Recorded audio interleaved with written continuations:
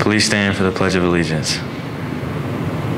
I pledge allegiance to the flag of the United States of America and to the republic for which it stands, one nation, under God, indivisible, with liberty and justice for all.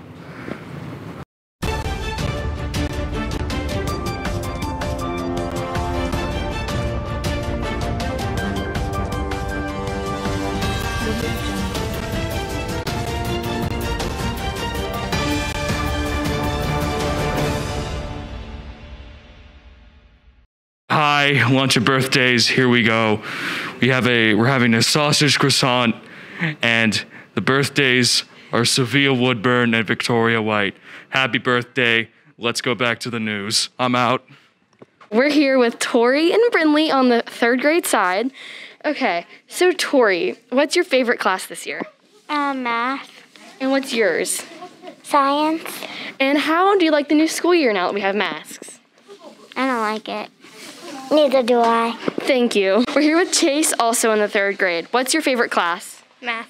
Thank you. We're here with Carly in the third grade. What's your favorite class? Reading. Thank you. We're here with Gabby in the third grade. So, what's your favorite class? Reading. Thank you. I'm here with Madison. So, what's your favorite class this year? Probably choir. And how are you adapting to the new school year?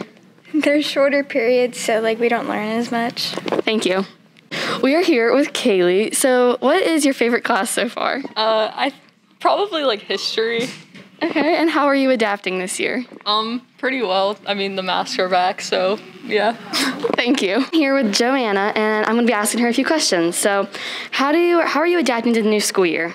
I mean, it's a little different because last year we had more time to do our work, and this year we have less time and more homework, but I'm getting used to it. And what's your favorite class so far?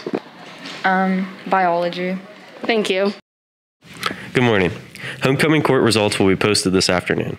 Homecoming tickets will be on sale during your lunch from September 7th until October 7th. They are $10 each and $20 a couple. Thank you for watching, and we hope you have a great day.